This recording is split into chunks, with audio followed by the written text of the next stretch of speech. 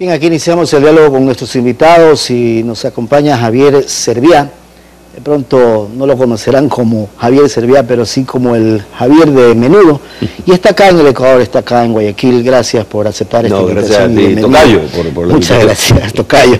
Eh, y vine a dictar, o dictó una conferencia para compartir las riquezas de su conocimiento con los televidentes que a diario o en sus programas o en sus columnas que escriben y también en la, en la CNN, compartir algo de la experiencia, inclusive personal, de la que ha tenido en su momento o en su vida, y también los consejos que puede dar. De hecho, Javier, un experto en finanzas eh, personales eh, de la cadena CNN, también tiene una experiencia personal muy propia de lo que significó haber estado en ese grupo mm, de menudo. La pregunta que me salta, Javier, es eh, ¿qué lo motivó a usted dejar la música por las finanzas? Bueno, fue un profe- proceso de años. Piensa que menudo fue en 1980, Ochenta ponle y pico, 81, 83, 82, 84. Yo tendría 11, 14 años. Ahora estoy en 45. O sea, piensa que han pasado básicamente unos 25 años en la transición.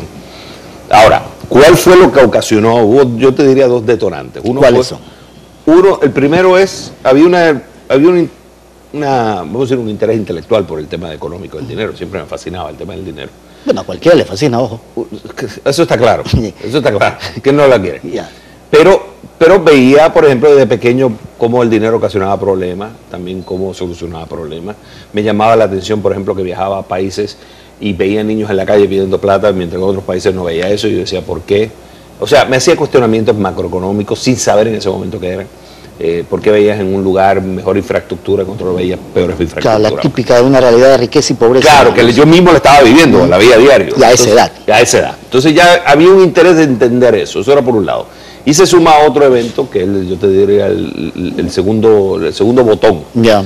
que es eh, con el menudo que produje menudo, en menudo, que fue mucho dinero, yo perdí el 60% de ese dinero e invertido de forma incorrecta por un 60%. 60%, un año. O sea, eh, un cantinflas financiero que tenía la responsabilidad, yo le llamo cantinflas financiero, tenía la responsabilidad de manejar ese dinero.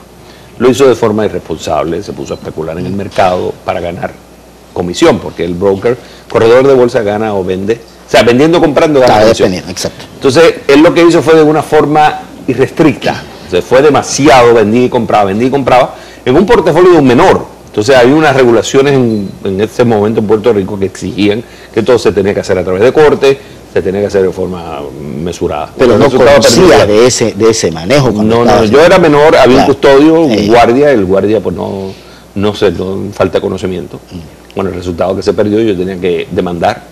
Eh, fue un proceso de cinco años, pagar peritos para averiguar qué fue lo que pasó con el dinero. Y tratar de recuperar algo. Y recuperé algo, pero no completo, porque yo tenía que demandar también al custodio, en ese tiempo era, pues, era mi madre, entonces tenía que demandar a mi madre y se complicaba el caso.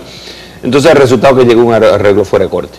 Yo te diría que esos son los dos puntos que a mí Y eso me- marca la vida. eso marca, o sea, tienes el tema de, de inversiones como vamos a ser víctima de- del, del tema de del manejo de- del dinero desde el punto de vista de inversiones, en la intención o el interés intelectual de saber cómo funciona el tema del dinero, ahí se com- com- combinan, tiempo después decido entonces meterme a la universidad, hago dos maestrías, una en economía y una en administración de empresas con concentración en finanzas, y ahí, bueno, me di cuenta que había que democratizar la finanza, hay que llevar el mensaje a la gente como inversionista que fui y también como estudioso. Y en ese sentido, eh, durante toda esta carrera, hasta llegar a los medios, hasta escribir eh, eh, en los diarios, ha significado que de alguna u otra manera Javier Servía transmita esas experiencias para decirle a las familias, saben que la economía se la maneja de esta manera. Es- sí, el, el dinero viene con la administración del dinero viene con instrucción.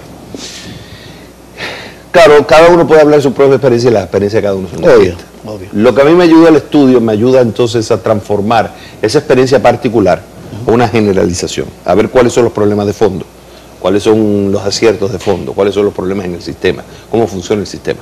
Entonces, lo que yo le ayudo a enseñar a la gente es a través de mi caso, que ¿Qué es entienda que no hay unos problemas-? Claro, que hay unos problemas generales que también nos influyen.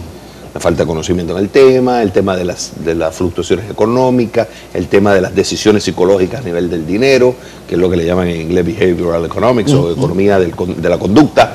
Entonces, al final yo lo que trato es generalizar todo ese conocimiento, esa experiencia a través del conocimiento adquirido en la academia, para poderle llevar a la gente, oye, esto te puede pasar a ti, cómo evitar esto, eh, cómo ser certero en esto. y bueno, darle una brújula que los ayude a encaminarse a lo que todos soñamos, que es la prosperidad. Que no tiene que ser de la noche a la mañana. No, no, no, no es de la noche a la mañana, eso, eso- eso es mentira. Eso te pegas la lotería, robes o este, secuestres o, o te pegas una suerte, ¿viste? O bueno, una herencia, una Y hay un bestseller de Javier Serviá que es La riqueza en La cuatro riqueza en pisos. cuatro pisos. ¿Eso dos qué significa? La riqueza en cuatro pisos, es- piénsalo todo como brújula. Básicamente es una metodología para ayudar a la gente. Mira, si tú quieres estar en el penthouse, que es, vamos a decir, ese piso donde todos queremos estar, que es la prosperidad, pues tienes que pasar por cuatro procesos. Uno es el primer piso, que es la supervivencia. O sea, tú tienes que aprender cierto Supervivencia financiera. Supervivencia, eh, sí, digamos, de, de sobrevivir. Hay- Ya. primero, eh, tienes, que, tienes que saber lo que pasa en el contexto económico, tienes que saber, tienes que establecer presupuesto, tienes que ser astuto porque hay mucho lobo vestido de cordero en la calle, tienes que conocer tu historia económica y conocer la historia de otros, tienes que aumentar los ingresos y tienes que controlar los gastos. eh, o sea, es una- como un manual de supervivencia que tú tienes que saber antes de construir cualquier cosa, es la base del edificio. Una vez que tú tienes esa base y la conoces, vas al paso siguiente, que es la seguridad. Reserva de emergencia, el portafolio seguro es importante porque tú transfieres el riesgo a otro, a otra compañía o a alguien, tú le pagas a cambio de que claro. te cubra. El tema del manejo de la deuda, el crédito. Ya después viene el tercer piso, que es la Acumulación. la acumulación. Que entonces viene inversión, ahí viene compra de propiedades, ahí viene la inversión en, sea en casa, inversión en conocimiento, inversión en, instrumentos financieros, y ya la cuarta que es la distribución, cómo distribuir esa riqueza. Y esa distribución de riqueza, cuando eh, la gente de pronto lo entiende, tiene clara la película de que tampoco es de votar el dinero por votar. No, no, eso está claro. Bueno, lo que pasa es que ahí viene el tema de lo que te hablaba de la psicología, de, la- de- de nosotros como consumidores, como, como entes económicos. Y nosotros tendemos, pues lógico, nos enseñan a consumir. Que está bien, no es que esté malo consumir. No, no, nadie dice malo, pero es que a veces uno exagera el consumo. Exagera, exagera, exagera, y ese es el resultado porque buscamos una satisfacción inmediata, queremos resultados inmediatos, tenemos un acceso al crédito que antes no se tenía, o sea, es una realidad, nosotros estamos viviendo una, unos periodos históricos que no los viven nuestros antepasados, el acceso a crédito que te permite positivamente acceder a otras cosas, o sea, Claro. antes a lo mejor para comprar una casa necesitabas 100 mil dólares cacho, hoy tú puedes comprar una casa con solamente a lo mejor el 30% en Ecuador, en, en Puerto Rico, eh, digo, en Estados Unidos el 20%, antes Claro. era el 1%, pero Sí, ahora sí. con la crisis no se puede.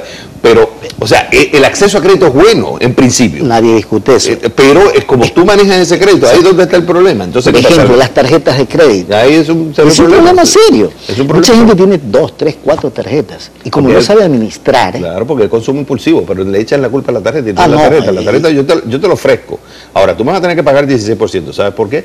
Porque primero, yo te estoy prestando una deuda no asegurada. Yo, a mí nadie me asegura nada. Es el ingreso tuyo o la, Claro. o la, o la Frente bondad de la pagar. responsabilidad que tienes. Claro, no es lo mismo que una casa. Una casa yo sé que como banco yo te presto, pero en última instancia te quito la casa. Porque Exacto, es el colateral. En tarjetas no hay. Es lo que le llaman non-secure loans, son préstamos no seguros.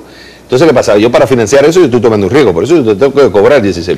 Pero la gente, en vez de decir, espérate, vamos a usar la tarjeta para, o- para casos específicos, si voy a gastar, yo sé que al final los 30 días voy a pagar, los 60 días, termino, finiquito y se acabó. No, la dejan porque creen que es dinero gratis.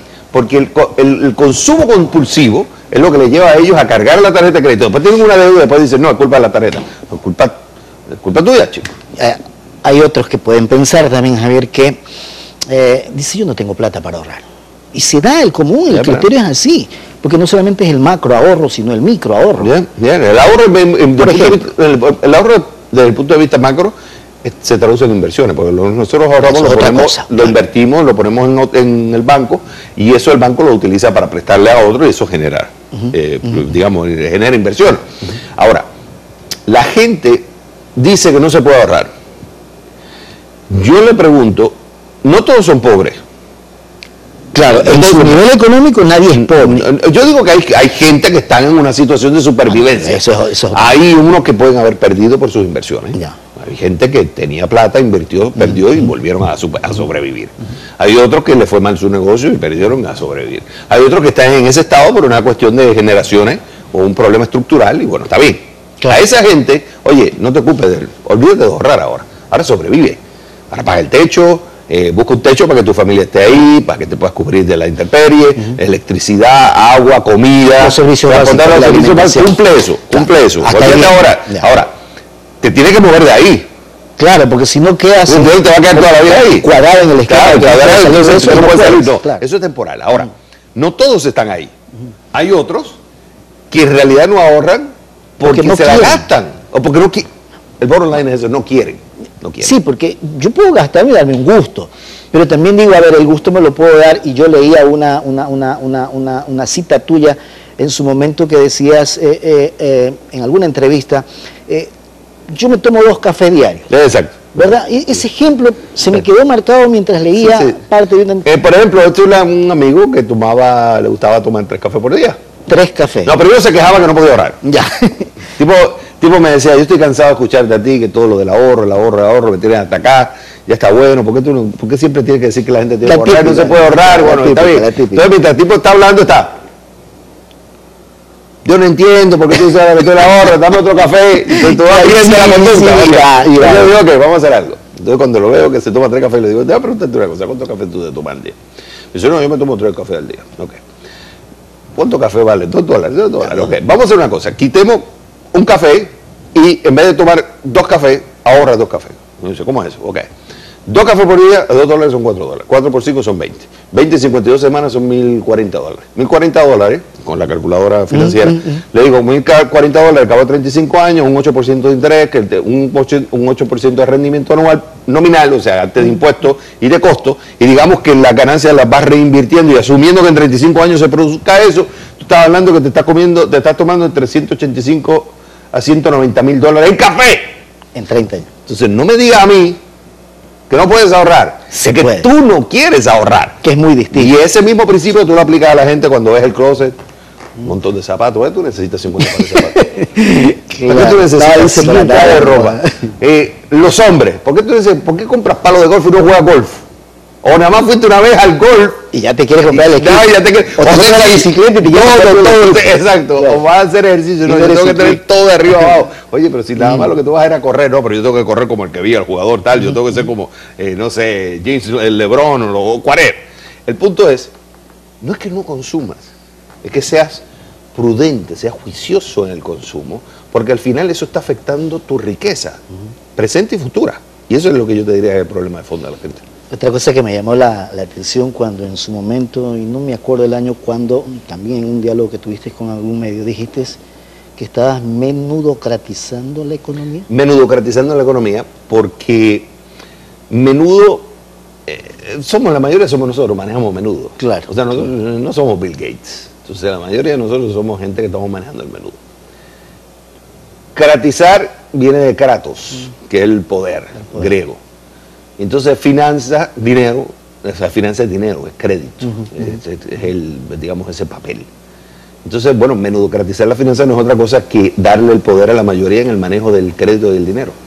Que no tiene nada que ver con menudo. No tiene nada que ver con. Bueno, eh, si hay algo suena bonito, ah, suena bien. Si hay alguna relación con menudo es pura coincidencia. Y si se le dice a Javier Servia, dale un consejo financiero a los televidentes, ¿qué le podría decir con la experiencia y con lo que has hecho también como medio, en medio de comunicación? Yo, yo lo que pienso es que la gente. Hay muchas cosas que pudiera decir, pero yo creo que hay que empezar. El primer punto es que hay que empezar a educarse. A educarse. A educarse. O sea, yo, yo, yo cometí errores financieros, los pagué caro. Eh, yo no estoy diciendo que todos vayan a la universidad, porque son ocho años que es, que es jalar. Eh, yo en mi caso fui porque había una intención intelectual de saber y aparte quería profundizar en el tema. Pero, pero hay que aprender, hay que aprender la historia de nosotros, dónde están nuestras equivocaciones. No podemos seguir pensando de forma irrestricta que ese consumo desmedido. No es que no consumas, es que consumas bien, consumas de forma correcta. O sea, se puede también tomar el control del ahorro. No, se puede tomar control. Hay que ahorrar. Hay que ahorrar porque no todas las responsabilidades se las Así podemos sea un dar dólar, por ejemplo. Bueno, mejor que nada está bien. Claro, Mejor que nada es ahorrar un dólar. Lo que pasa es que hay una cosa que tiene que entender la gente de fondo acá. Eh, la jubilación es un fenómeno.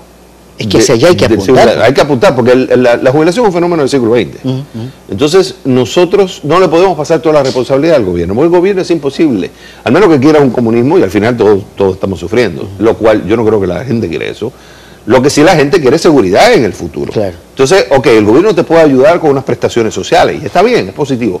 Pero ¿tú crees que te puede cubrir el 100% de lo que tú vas a demandar la jubilación? No. Entonces, por ejemplo, en Estados Unidos el Seguro Social o la Seguridad Social pues, está estima- eh, fue originalmente diseñada para cubrirte el 30% de tus ingresos cuando te jubiles. Claro. Pero ¿de dónde va a venir el 70% restante? De nosotros. Entonces, por eso hay que ahorrar. Javier, quiero agradecerle por haber Te estado con nosotros esta mañana, haber compartido un poco sus experiencias y los criterios y los consejos y lo vivido dentro de los medios de comunicación con sus bestsellers, los libros y las eh, opiniones que se generan en los programas en CNN. Gracias nuevamente, tenga buen día. No, te Buen agradezco a ti, también. Javier. Te agradezco. A usted, gracias Javier Serbia, el experto en finanzas de la CNN estuvo con nosotros. Hacemos la pausa, regresamos enseguida.